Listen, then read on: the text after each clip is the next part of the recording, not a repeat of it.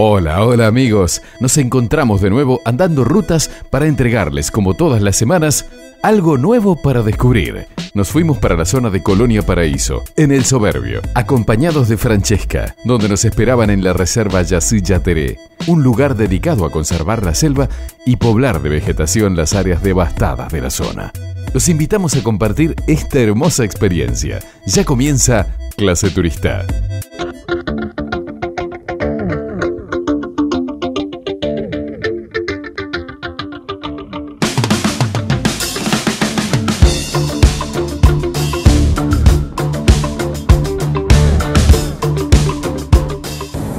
¿Qué tal? Yo soy Francesca Pelotti y eh, estoy acá en Misiones desde marzo.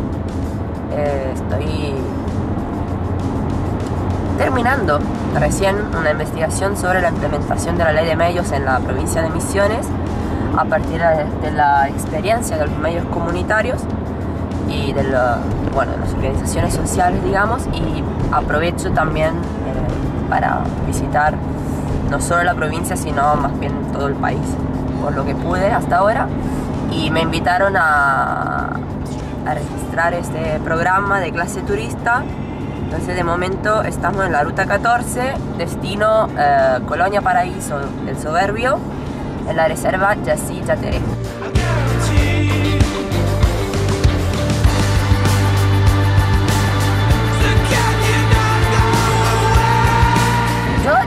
Fui al Soberbio, no fui a Colonia Paraíso eh, y la verdad me encantó el Soberbio, es muy verde, muy verde y el pueblo muy lindo, así que me imagino pasar como un día en el medio de la naturaleza, desconectada completamente de, de la frenesía del laburo, de, de los intentos de despedidas que me se acercan, así que nomás.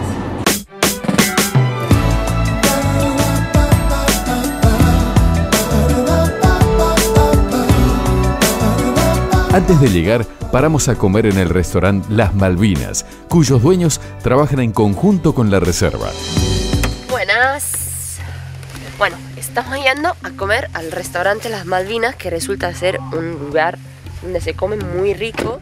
Y encima, si lo tengo bien entendido, el dueño, el propietario, es un veterano. Así que capaz que me pueda contar alguna historia interesante de lo que pasó.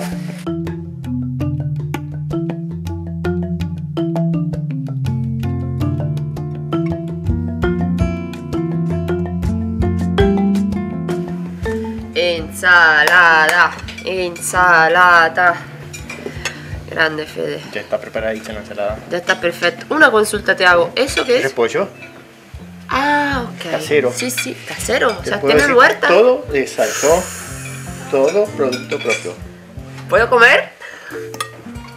Ay, ay, ay. Ah, no, espera, espera. Acá va. Ah, bueno, entonces, vamos. Ese es un guiso. No. Arroz con pollo. Arroz con pollo. Gallinada, dice el, el brasileño. Ah, la famosa gallinada. Exacto. Ah, me habló de eso un tipo de una radio escolar. Eso te puedo decir en portugués. Bolinho de arroz. Espera, espera, ¿cómo? Bolinho de arroz. Boliño de arroz. Ajá. Y sería como rollito de arroz. Exacto. ¿Viste? Sí. Ah, qué bien. Voy aprendiendo el portugués. Vení, vení. No, acá hablamos. Adelante, adelante. Sí. Ay, qué rico. Bueno, eh, buen apetito, ¿eh?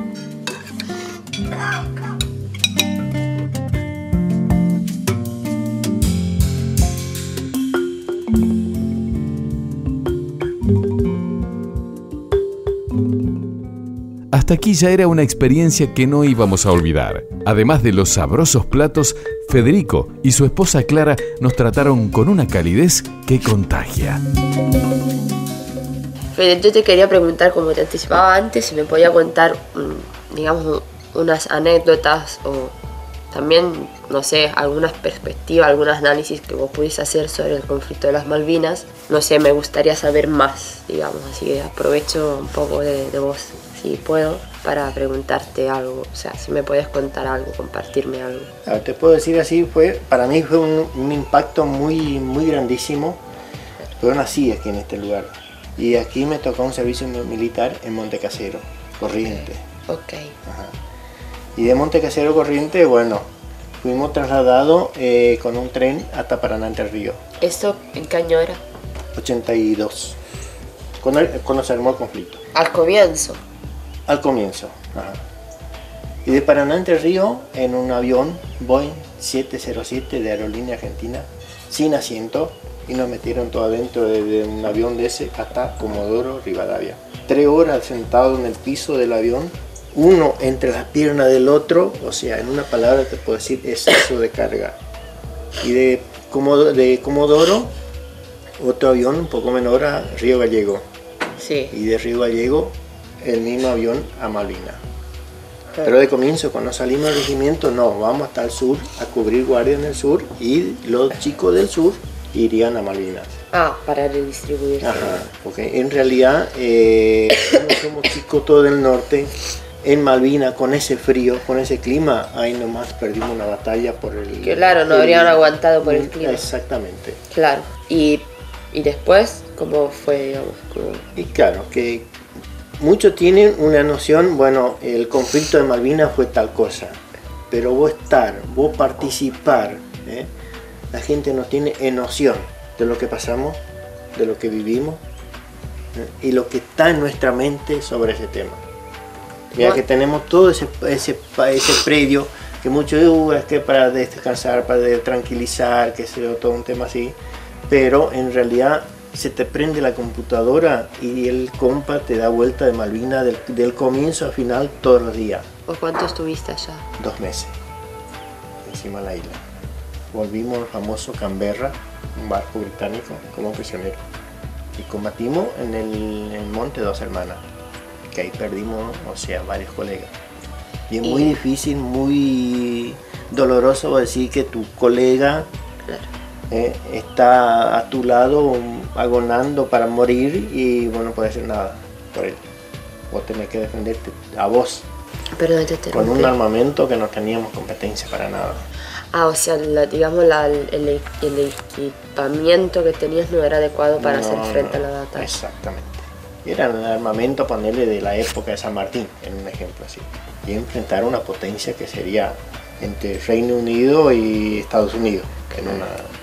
David y Goliat. Exactamente. Ajá. Y ¿Y después chico, ponerle... cuántos años tenías vos en ese momento? 19. Ay, mi vida. Sí. Imagínese usted con 19 años que le dan un, un fusil o un cañón o un mortero un- De un día al otro. De un día al otro y vos tenés que defender a tu patria. ¿Qué hacería? Yo creo que escaparía.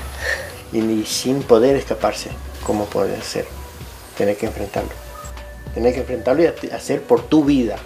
Claro, o sea, que se, se- claro, de- se Ah. convierte en una, Sí, una sí. cuestión de sobrevivencia, básicamente. Sí. Y regresaste con algunos de tus compañeros en ese barco, ¿no? 4.700 soldados argentinos en ese barco.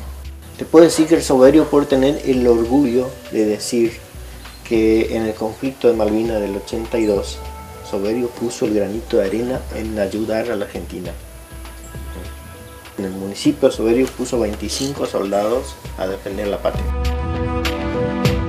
Cuando afloran los sentimientos, no hay mucho para agregar. Conocer las motivaciones y las experiencias de los habitantes del lugar es lo más valioso que conseguimos en cada viaje. Nos vamos a un corte.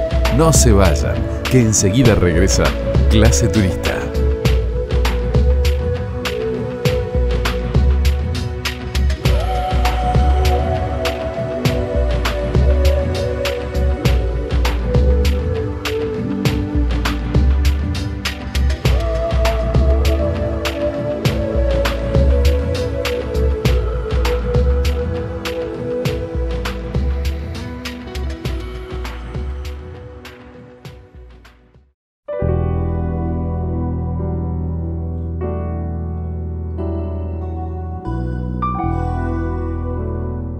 Segundo bloque de clase.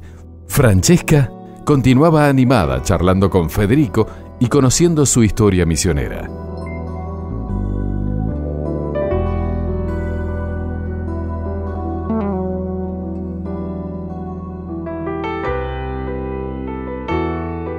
¿Y vos por qué elegiste, digamos, eh, dedicar tu actividad, tu restaurante, tu actividad, digamos, acá a esta experiencia? O sea, Bueno, al comienzo, eh, digo, vivimos en. eh, vivíamos del, de- del campo. Y del, del campo, bueno, de, después de años, que la vida en el campo no es fácil, es rústica. A través de, de un pasar de tiempo, muchos colegas, porque antes del viaje de, a los Altos Moconá se partían todos de aquí. ah, Sí, eran todos viajes largos. y ahí decidiste Y abrir hay este muchos complejo. colegas me decían, amigos, me decían, ¿por qué vos te haces eso? Yo tenía, ese predio era una vivienda familiar. Y bueno, lo armamos eh, la casa esa. Recibimos mucha gente hospedando dentro de la casa, compartiendo la habitación de uno, porque uno tenía al turista como, eh, eh, ¿cómo le va a decir? Una persona distante. Y no son las mismas personas que uno. ¿eh?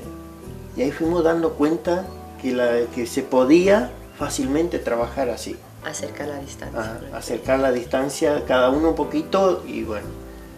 Y ahí bueno, después de recibíamos, preparamos las comidas que siempre eh, mi señora, digamos, pero siempre eh, haciendo las cosas con amor, con cariño. Y eso es lo Y que le da el matiz, ¿ah? obviamente. Eso te da un sabor. Ustedes las comieron, o sea, los otros que estuvieron aquí hoy, todos los que vinieron, comieron la comida que siempre elaboramos como para uno. No hay distinción, esa comida para un turista o para nosotros es diferente, no, la misma cosa. Bueno, te dejo un beso más. Suerte. Muchas Chao. gracias, ¿eh?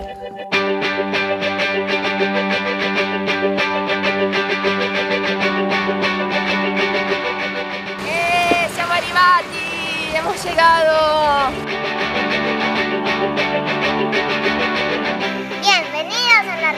Yoshilla Teré.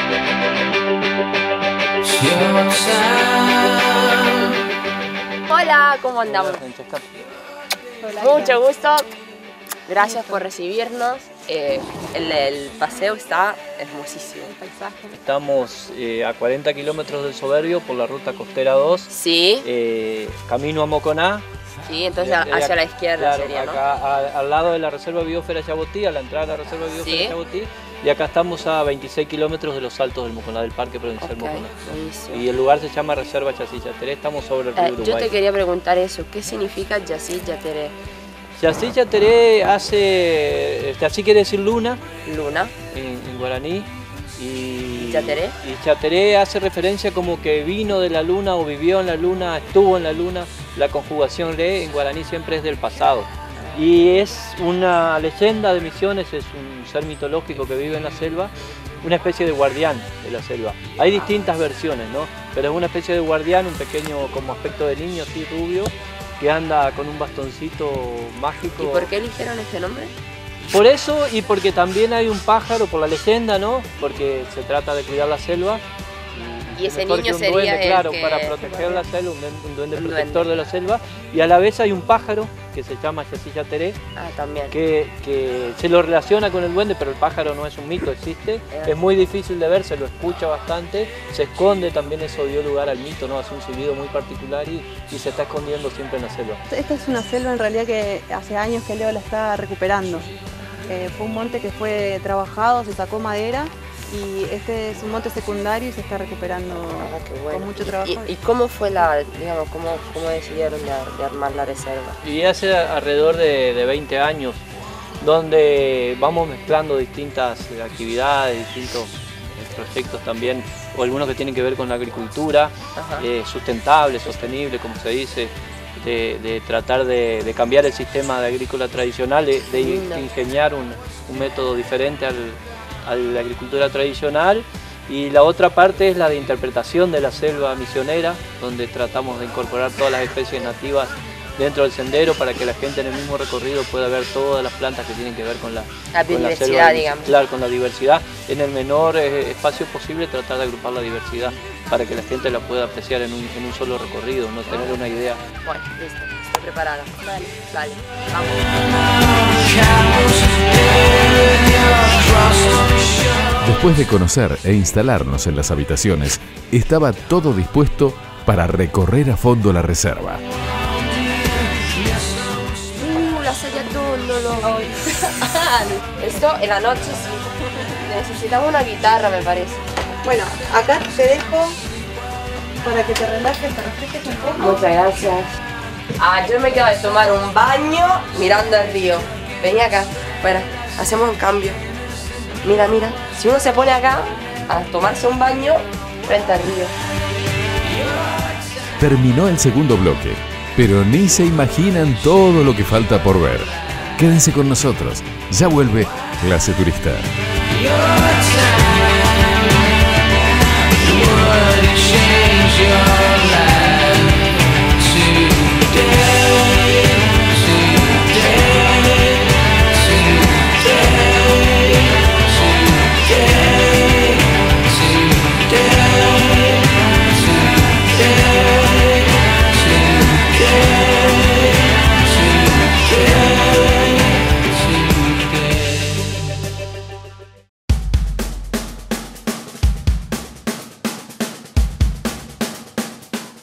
Seguimos con clase turista desde la Reserva Yacilla Teré, nutriéndonos de lo mucho que sabe Leonardo acerca del ecosistema de la zona. La reserva, la reserva Yateré está- tiene más o menos una superficie cercana a las 40 hectáreas y la tenemos eh, zonificada en distintos sectores eh, de acuerdo a su, a, a su estado de conservación y a lo que pretendemos de cada, de cada espacio. ¿no? Tenemos una parte que es reserva estricta donde no se toca nada, no se, solo que se recupere la vegetación y haya el equilibrio natural que tiene que haber dentro de una reserva. Después tenemos otra parte que es para eh, visita turística, que están los senderos, donde se puede caminar, donde lo hicimos tipo como un jardín botánico. Y otro sector que fue la, más eh, afectada por el ser humano, donde antiguamente era un potrero, esta parte de acá, que lo usamos para hacer el, sistema experimental de ecoagricultura, agricultura orgánica. Eh, también lo relacionamos a los cultivos con la parte de aromáticas, por, por la historia del soberbio, que es eh, la capital de las esencias y tiene toda una tradición Ah, con mira, el cultivo yo no de... sabía de Sí, eso. el- al soberbio se le llama la capital de las esencias porque tiene todo una, una cultura relacionada con la citronela Mira, y yo no sabía. Bueno, entonces una parte de, lo- de los cultivos eh, está relacionado con las aromáticas y medicinales, ¿no? La selva es eh, un sistema productivo, produce oxígeno, por ejemplo, produce vida, produce diversidad. eh, entonces nosotros, al, al generar un sistema productivo, lo que hace tra- tradicionalmente el agricultor es sacar toda la selva y poner su, su cultivo de conveniencia, ¿no? Pero la modificación es muy grande, afecta mucho el ecosistema y ese no es sustentable el suelo. El suelo a la larga se va deteriorando. Entonces, imitando, tratando de imitar a lo que hace la selva con el suelo, eso es lo que nosotros eh, queremos implementar acá y es lo que te voy a estar O sea, mostrando ahora. sustancialmente es eh, reinstalar, digamos, los cultivos que el territorio mismo de acá puede sostener. Claro, Eso dejar, sería. dejar a la vegetación natural que produzca lo que produce, que haga su trabajo de producción Sí. y a Me eso incorporarle los cultivos de nuestro interés. Tratar de que convivan las dos cosas. En este caso hay que ir buscando qué, qué cultivo se adapta con, con- con la selva, ¿no? Y... Mira, lo que hacemos en este sendero es ir tratando de que la gente vaya interactuando con la, con la naturaleza de Misiones y vaya eh, percibiendo los aromas, por ejemplo. eh, Como este, por como eso. Esto se llama niño rupá, es una planta medicinal que la gente usa para eh, limpiar las vías respiratorias como un descongestivo. Y, Y anda, yo lo confirmo. Y, y bueno, la, la selva de Misiones lo que tiene eso, ¿no? es como una especie de farmacia donde tiene todas las sustancias químicas ahí en las plantas y, y los aromas, ¿no? los aromas que se usan en perfumería. Y acá tenemos otra planta que es muy conocida por la gente, le llaman pitanga o, o ñangapirí. Ñangapirí. Eh, esta, esta planta también aromática, eh, hay un laboratorio muy conocido, un laboratorio brasilero Natura que vende por catálogo, que hace un perfume de esta, de esta ¿Cómo se planta. De este lado tenemos es- esas plantas de, de hojas, mira, para acá atrás la vamos a ver. De hojas extrañas, ¿ves? Es otra planta medicinal. ¿Ves que tiene una forma particular la hoja así? Como, como con tres aletas. Ah, en Bueno, 3D. Sí, esa se llama carqueja. Car- Carqueja y es una planta que la gente la usa como digestiva. Ah, mira, eso sí, capaz que después Buena del almuerzo a las molpinas me viene bien. Bueno, y haciéndole honor al, al nombre del sendero, aromas y sabores, ya sentiste el aroma de algunas plantas y ahora Ah, sí.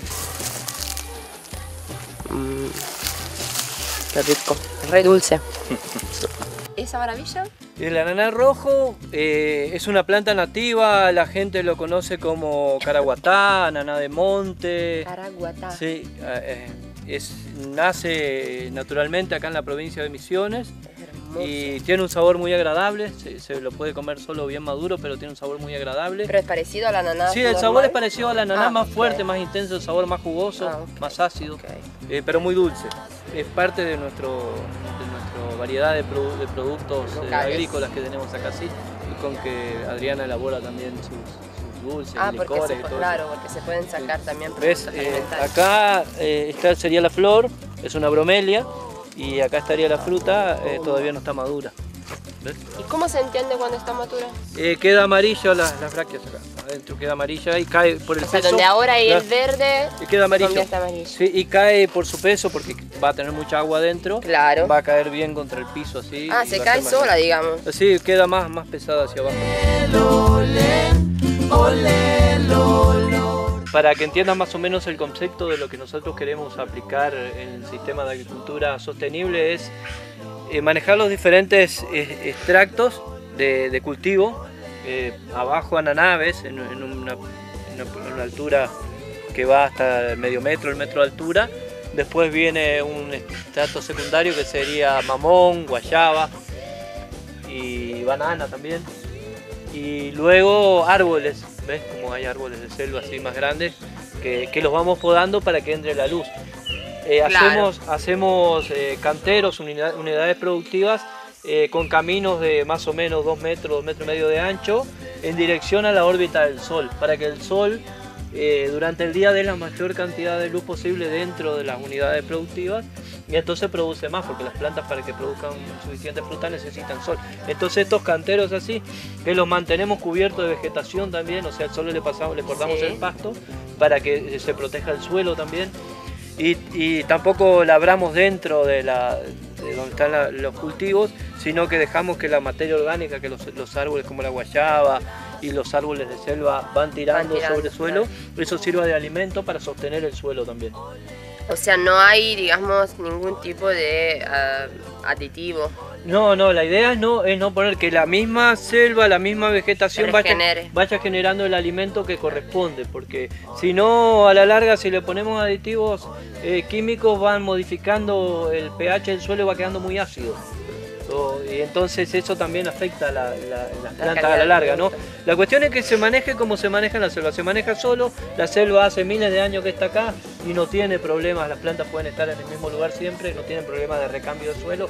Quiere decir que si nosotros los seres humanos eh, podemos eh, utilizar ese sistema, saber eh, cómo aplicarlo, el, el sistema que utiliza la naturaleza acá, podemos también tener cultivos permanentes sin tener que estar cambiando de, Claro. de lugar y, y en pequeño espacio. Nos despedimos del programa de hoy, pero no de la Reserva Yacyyateré. El martes que viene seguiremos compartiendo mucho más de lo vivido por Francesca, en tierras donde corre el precioso río Uruguay. Nos vemos en una semana, amigos. Gracias por acompañarnos. Adiós. Hola, ¿qué tal? Eh, yo soy... Perdón.